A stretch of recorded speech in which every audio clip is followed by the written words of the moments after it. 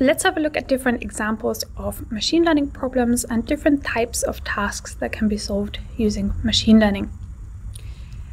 The first example that we have here is regression, which is trying to predict a continuous numeric value. And all of the examples that we'll see on this slide and the following slides are actually going to be examples of things gone wrong. So here we have an insurance company that was trying to predict a sickness severity score to determine if an individual may require additional care in the future. And unfortunately, the algorithm they used picked up on health costs or health spending as a proxy for health. And what was found by Obermeyer et al. is that different subpopulations with the same score actually had very different rates of chronic illnesses. The second example that we have here is classification, where we're trying to predict a label. And a common example of this would be a approved or denied scenario when you go to a bank and you apply for a loan. And similar story to before, where different subpopulations actually ended up getting different denial or approval rates. And we can see this illustrated here on this chart where on the x-axis we have the credit score, on the y-axis the denial rate, and you can see in different colors different subpopulations and with the same score you can clearly tell there are different denial rate percentages. And keep in mind that these things they're not done maliciously by programmers or machine learning engineers or data scientists it can be a reflection of historical bias, or it can be that certain algorithms will pick up on majority groups and favor them more heavily. So we really need to think about what's going on here and implement bias mitigation and also do a good job at actually finding any bias that's already present in the data before it comes to the model training stage. So we'll be talking about this in more detail later. The next example that we have here now is the ranking, where we want to order items to find the most relevant based on a user search query.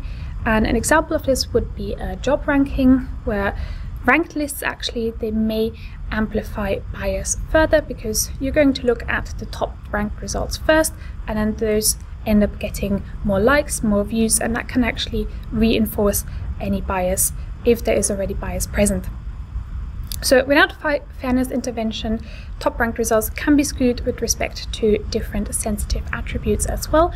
And to mitigate this problem, we actually need to re-rank the lists according to different fairness criteria.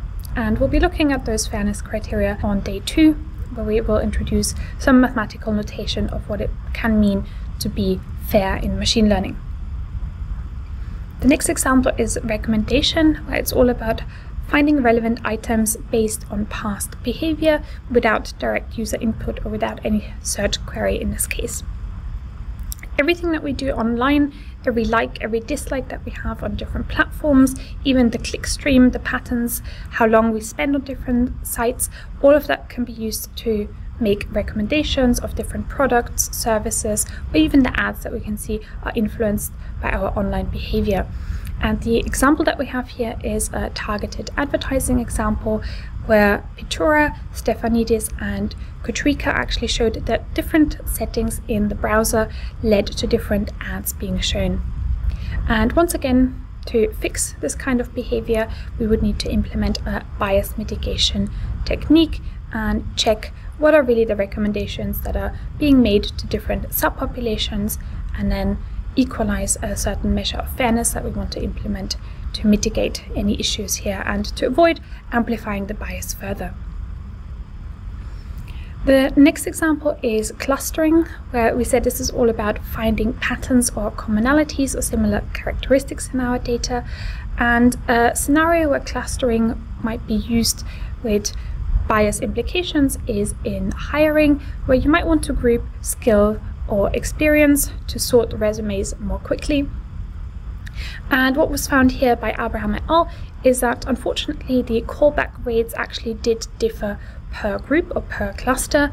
And what we want to do here in this example to mitigate is aim for proportional representation of different sensitive uh, demographic attributes per cluster. Final example I want to talk about is anomaly detection, where it's all about finding outliers or data points that look very different to the rest of the data that we have in any given data set. And the example that we have here is fraud. So that means we have a population where the majority of the population is behaving as is expected, and then a very small fraction is engaging in fraudulent behavior. So fraudulent behavior that was observed here is actually related to payments that were made from a government relief fund and the scale of the money allocation here makes traditional tracking almost impossible. So the idea would be to use a machine learning solution to actually identify fraudulent transactions or fraudulent requests. And what we need to be mindful of is that we don't overemphasize the fraudulent behavior in a certain subpopulation so that we specifically pick out one subpopulation as engaging in fraudulent behavior more than others. Uh, so we should not have any skew towards a particular group. And once again, there are different algorithms that can help us enforce this.